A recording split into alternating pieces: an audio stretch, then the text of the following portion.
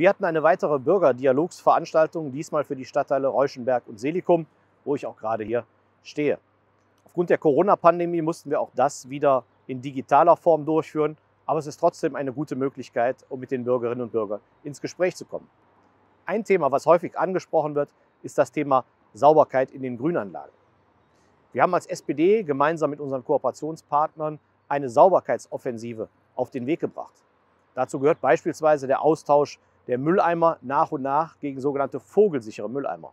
Dazu gehört aber auch das Aufstellen von Hundekotbeutelspendern, weil das vielfach gewünscht wurde. Hinzu kommt, dass auch die Personalkapazitäten im Grünflächenamt ausgeweitet wurden, sodass insgesamt auch der Grünrückschnitt jetzt etwas schneller erfolgt als in den Jahren zuvor.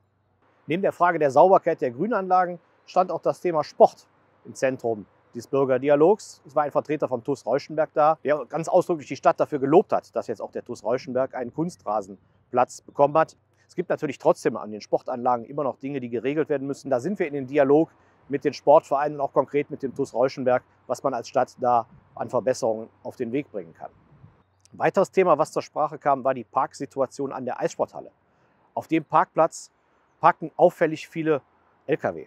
Möglicherweise zeigt sich auch da, dass das Land mit seiner Stauinitiative nicht vorankommt. Weil in dieser Stauinitiative sollten auch mehr Abstellflächen für Lkw an den Rasthöfen installiert werden, damit die nicht in die Wohngebiete fahren und dort parken.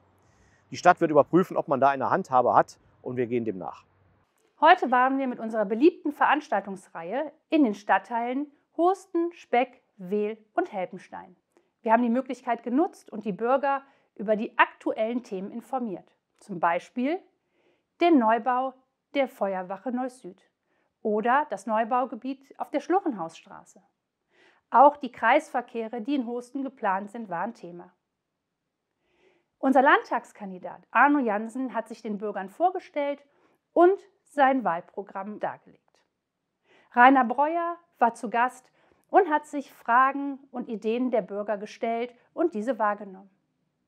Wir bedanken uns für diese effektive Arbeit und wünschen allen Bürgern, dass sie gesund bleiben.